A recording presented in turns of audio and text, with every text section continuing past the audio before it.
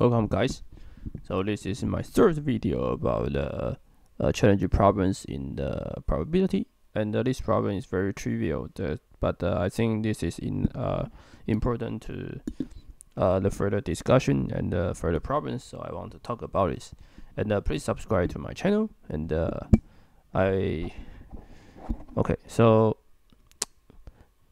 and make a thumbs up so today I want to talk about trials until first success. This is uh, easy problem. On average P, how many times must be must a die be thrown until one gets a six? So on average, okay. Okay, so I think this problem is very easy. Okay, so uh, what we need to compute is the how many times that one can get success for six. Okay, uh, but we can make it general so suppose a, a, a trial has success uh, probability p, and we want to ask the expectation value of how many times that you can success. Uh, how how many times that you average will see one success. And the basically uh, you can check my other videos. My other videos talk about how to get the continuous the n success. Okay, so but in this video uh, we just use this, so it's very simple uh, suppose you success first time, then you have 1 over p. Oh, sorry, you have probability p, then you success. And uh, the, the another case is you get 1 minus p because you fail, but you, uh, you success in the second time, and uh, times 2. So this is because you're there second. Or you success twice, uh, you, you fail twice, and you success. So times 3 or you you or you fail three times, then uh, then at fourth time you success. So you times four. Also, so basically all we need to do is just compute uh, this infinite sum.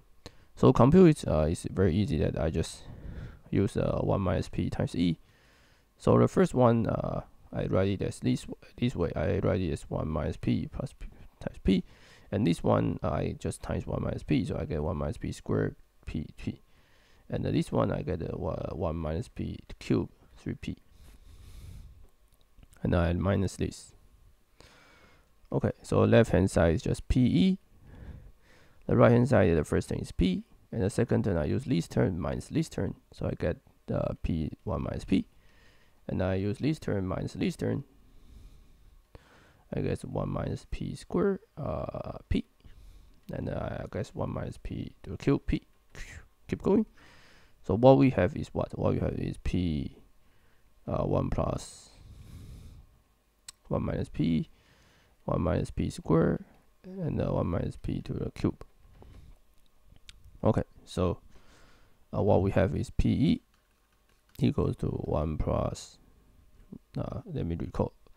Okay, so it's p times 1 minus p plus 1 minus sp squared. Okay, and uh, remember the the geometry series have this identity if r is absolute value of r is less than 1 okay so what we have is p 1 minus 1 minus p. So we have pe so the expectation value is just 1 over p. And uh, basically this is the in, uh, intuition results that uh, suppose you only get. So uh, you can you can think of as you do uh, done many times then if you done uh, if you did very large times, then on average, uh, each p uh, each one p times, then you will get one numbers, uh, one success. So this is the answer, and uh, this result is very important that we will solve another problem called coupon problems in the in the other videos. And uh, basically, uh, I will uh, you can see my other videos. Uh, basically, you can prove. Uh, you can prove uh, the expectation value of n continuous success. So that means how much, how many times you want to get the uh, continuous two, uh, two six n continuous times uh, success. The expectation value is just one over p, one over p squared, and keep going, go to one over p to n.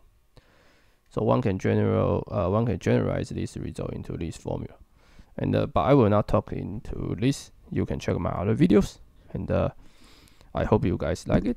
And uh, be sure to subscribe to my channel. I will see you guys in the next interesting videos. Thank you.